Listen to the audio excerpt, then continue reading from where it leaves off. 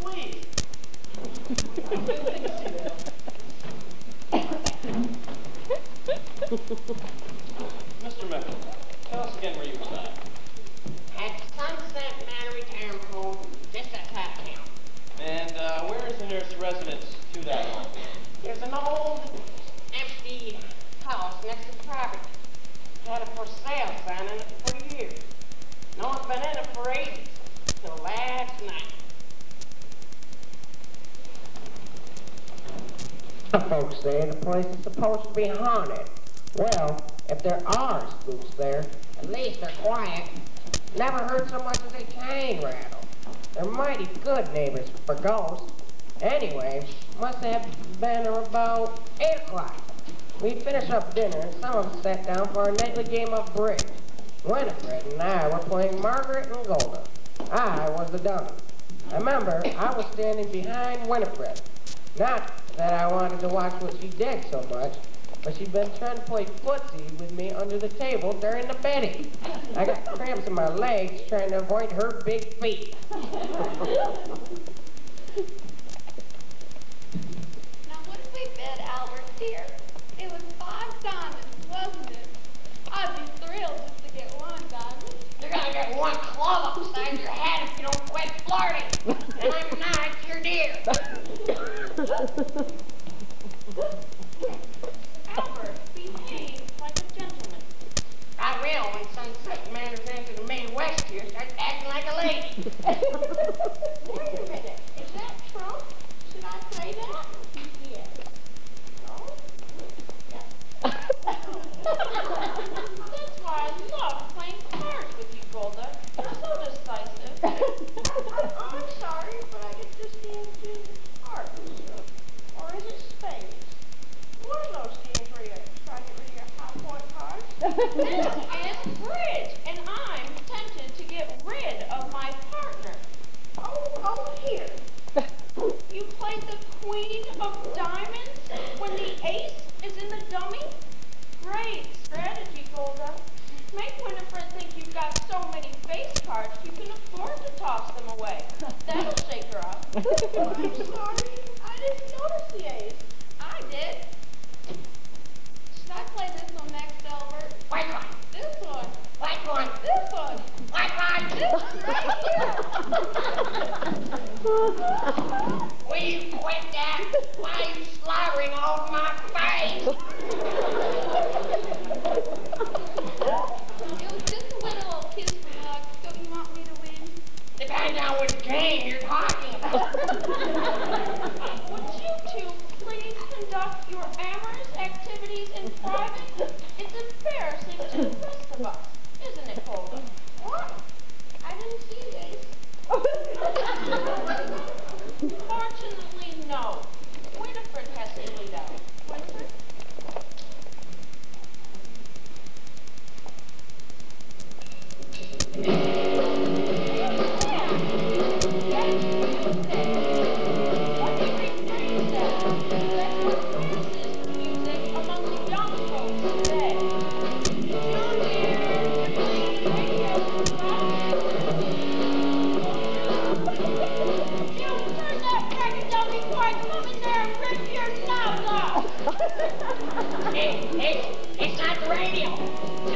over there. Someone's making that awful noise in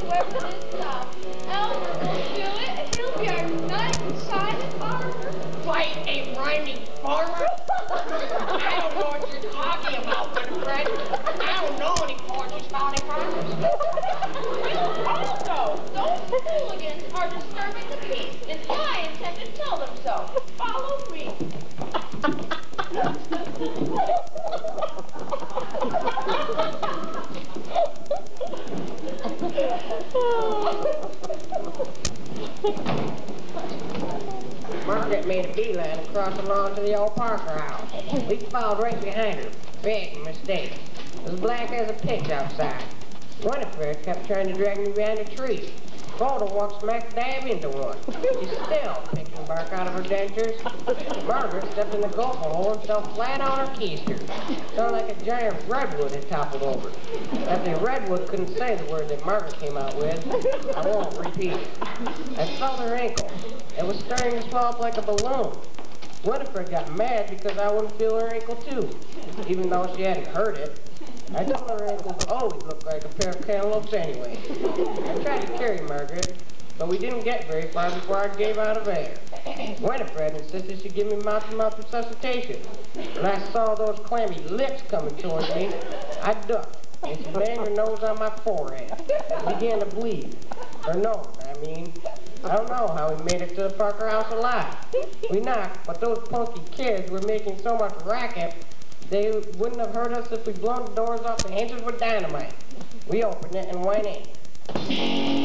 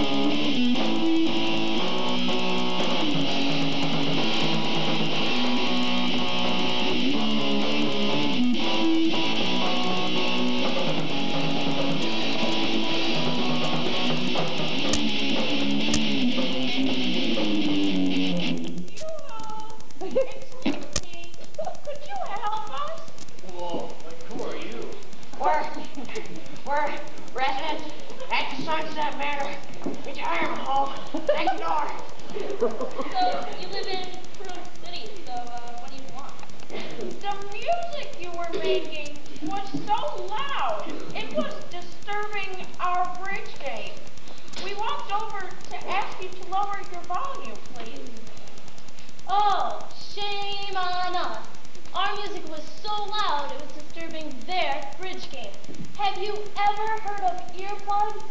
Duh! On the way over, we had accidents. Several, actually. My nose is bleeding. Do you happen to have any ice? Any mouthwash? An ace bandage? An inhaler. What do we look like? A Rexall drugstore? Perhaps you have a phone we can use to call for assistance? Oh, do I have a phone? Gee, I don't have a phone. Hey, Shannon, do you have a phone? Do I got a phone? No, I don't got a phone. Iggy, do you got a phone? No, I don't got a phone. Candy, you got a phone? Yeah, I got a phone. But it's out of order. So, so you want us use your phone? Look, Pop, there ain't no phone here. My dad's a real estate agent. He gets his old dump out for sale. He Turns the electricity on when he shows it to his clients. There's no phone, no furniture, no nothing. So you are fresh out of luck. And you are interrupting our rehearsal. So if you just split, come on, split! They are going to help us. Maybe we should leave. Grandma got the message. Pretty smart for an old broad. On the way out, don't let the door hit your old vest bag. We'll go, but if you persist in playing your music too loudly, we'll be forced to call the authorities. So call. We got a right to do our thing. One, two, one, two, ready, kick it.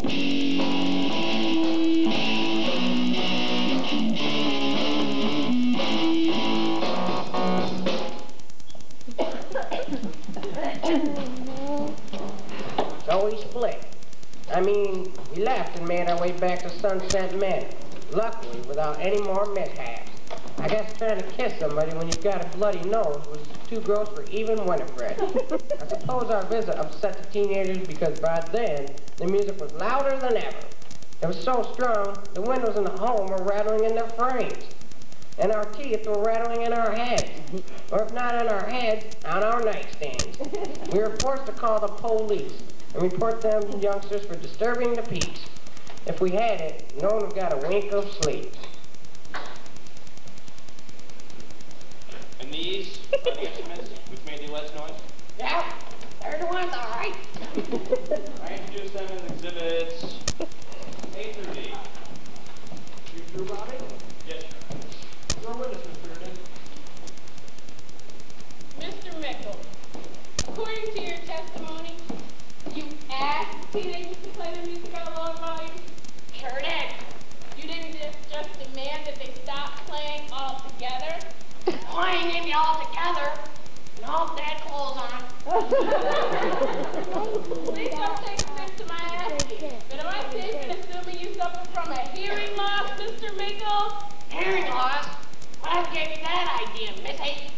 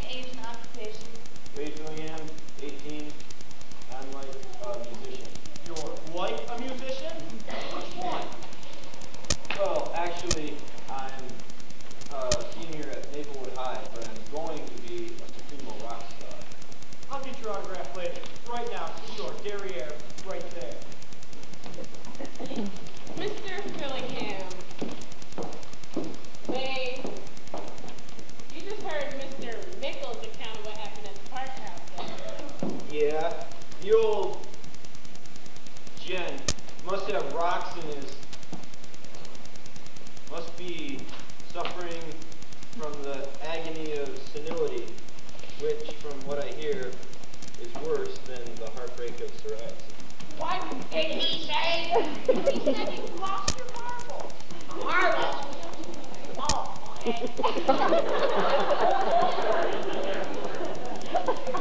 Why don't you tell us what happened from your own point of view? That's cool, because, like, I'll lay on you the straight dope. I think I'm going to need a translator. Is there a translator in the house? Uh, I can help with music, Judge. I speak a little. Huh. You do? Right. Came in handy in my previous profession. And what profession was that? Uh, you're not gonna get into that, if you don't mind. I think I smell a story here. Sorry, didn't mean to get nosy. Proceed. Now, wait, you were saying? Right on. Let me tell you what really happened. Daggers and Daisies got a sound that really gets down, you know? I mean, like, really fab. They sound good. We got what it takes to go platinum. They could sell lots of records. We had this one major problemo, though. We needed space, man, to get our act together. Then Iggy got this awesome idea. It was so cool. I understood most of that, Mr. Reardon. He, like, remember this old house his old man has up for sale? Out in Nowheresville, where we wouldn't make any waves. We thought.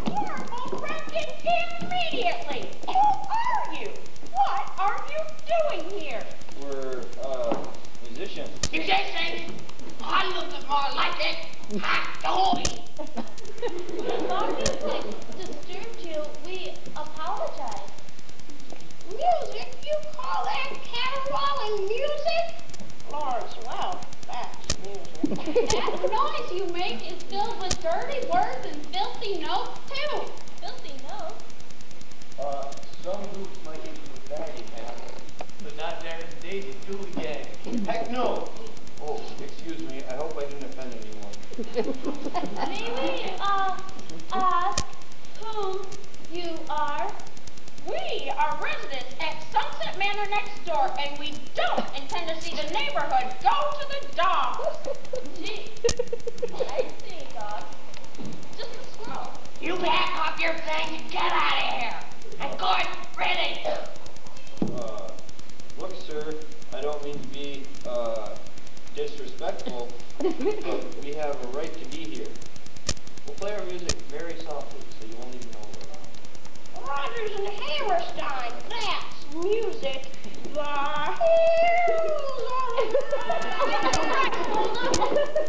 You won't go peacefully, unfortunately. And how do you intend to do that?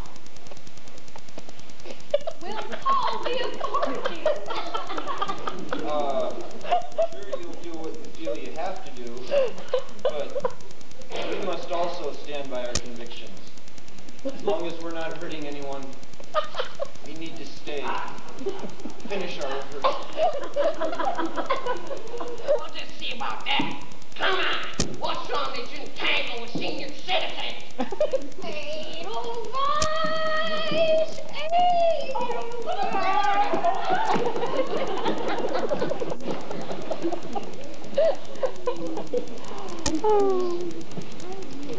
I'm not like a shrink or anything, but I kind of feel like it's not our music that teed them off.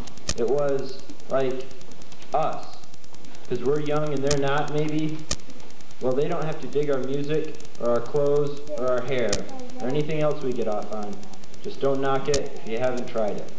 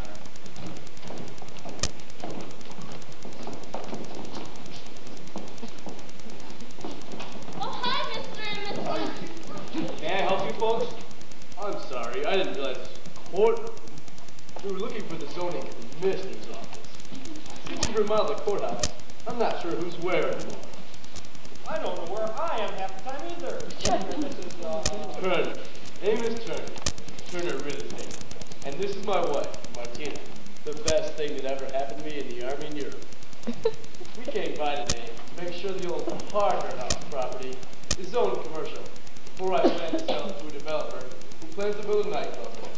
If you'll excuse me. The Parker House. Oh, no, a nightclub? You can't be serious. What'd I say? Order! Order in the court! Mr. Turner, apparently you have some information which will help us in a case we're trying today. And it's a very trying case. I do, I do. I now pronounce you, my mistake. You come forward, Mr. Turner? Well, sure. I'm dead meat, you're looking at dead meat. Is that me? Is that any station? I like it. Did I understand you to say that someone plans to the Parker House? That's correct, Judge. Oh, goody, I got that part right. And you said the new owner plans to erect a nightclub there? He sure does. He's gonna tear down the old Parker House and build a huge establishment. Feature live bands, draw crowds from miles around. Mr. Turner, are you aware that the Parker House is next door to the Sunset Manor Retirement Home? Yes, Your Honor, but the home is set well back on the road at the end of a long driveway. The Parker House is right on the road, so there should be no problem with the traffic. It's not the traffic that concerns me. It's the noise. I don't know about that. I just know this will be my biggest deal all year. And I can't afford to pass up the opportunity to sell the place. I have a growing teenager to feed, so I could really use the money. I'm gonna get blamed for this. If a tornado flat the town, Papa finds some way to blame me. A tornado? And you think this section of land is zoned commercial? I'm almost positive. I remember reading about it in the legal transactions section of the newspaper. Why? That proposed nightclub could cause some problems. Uh, residents of Sunset Manor have already complained about being violated by a rock band who was rehearsing in the Parker House. The judge is about to run those charges right now. A rock band? But how? I have the only key to the place. Why don't you ask them? Iggy! Pop, hi there. What are you doing here? School field trip? Wait, you are the rock person who's disturbing the peace? How did you get into the house? I uh, borrowed the key. I was gonna tell you. When? On my 40th birthday? Oh, it makes it Turner, my poor boy. In a court, in front of a judge. I may say, they put a picture me in Amos Spears. Don't blame this Iggy, Mr. and Mrs. Turner. We were all there. Maybe so, but your parents will have to deal with you. Iggy's our responsibility, and we intend to teach him a lesson he'll never forget. Right, Martina? Anytime now, please come here. Hey. You can put it on my tombstone. That's enough out of you. Wait till we get home, dear. There'll be lots of time to paint then. Oh, dear, we didn't intend for you to kill him. I won't feel that. I'll just make you wish I had. Amos, stay close so you can catch me. I'm here, dear. See what you've done to your mother. I'll go out buy a dozen pair of straight pajamas. Prisoner of Allen Hall. Your Honor, is there a fine? If so, I'll pay it. Get Iggy out of here. I was just about to decide on that. In fact, I'll do it right now.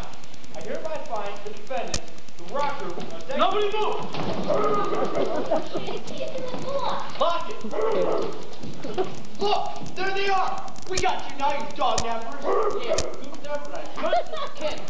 Yeah, hey boy, you ain't nothing but a hound dog. What's up? Who's got a gun? A gun? That's different. Let me out of here. What's the point? You can just go home. True. I got a whole career of me. I got them all shook up. Okay, we get hurt. Okay, listen up out there. I got a room full of in here. So stay away from the door and start blasting now. Yeah, take that dumb mutt with you. Somebody call the police. Old lady, help, old lady. Man, I want your phone. Yeah, I could have handled it myself, but if I did, the police would have probably felt left out. You, guard, stand up and put your hands on your head. Oh, Edie. Get his gun. Lock the other door.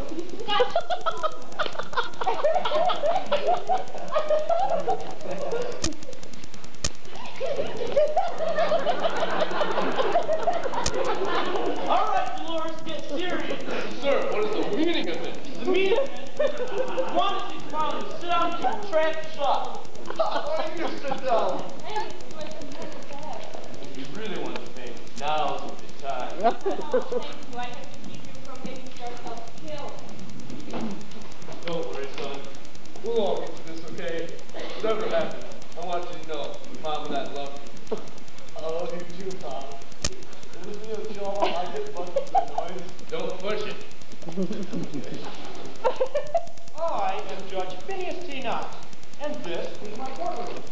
You have disturbed the proceedings, and I might add, are in deep dishwasher. Look, Bob, I was in trouble before I came in here.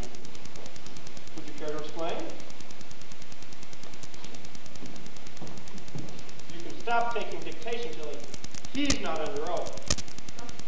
Oh, right, Your Honor. As you were saying, I was on trial in the next courtroom, and the judge was about to send me up the river. My girlfriend, Dolores here, sprung me. what are you charged with? Dog napping. And he would have got away with it too if it wasn't for that Bruno. Yeah, crummy flea bag. About a dozen owners brought their dogs to identify me. Stupid mutts all ignore me. All except that Bruno. he ran right up to me, lifted his leg, and... I think I'm gonna faint. Catch me, Albert. Do me a favor, call the other way. As I was saying, the dumb dog ran up to me,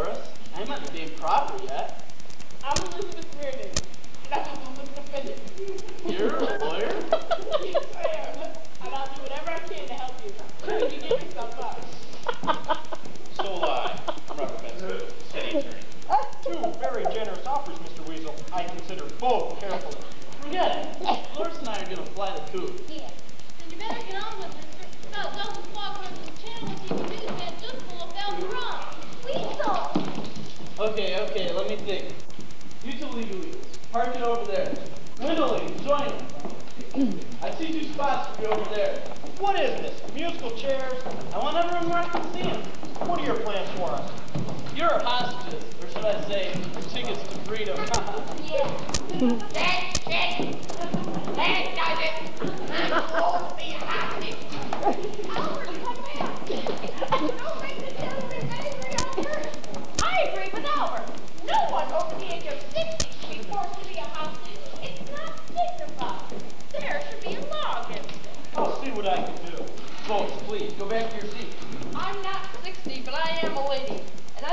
I to be paraded in front of a TV news camera until I've seen my hairdresser. You like be cool? Julie's got a gun. I, I appreciate your concern, young man. There comes a time in your life when you gotta speak up for yourself. I've decided I'm not gonna be your hostage, Mr. Weeble. Well, what are you gonna do about it? You'll do as I say, old man, or else. Or else what? Or else you're gonna get a sudden attack of lead poisoning. Oh.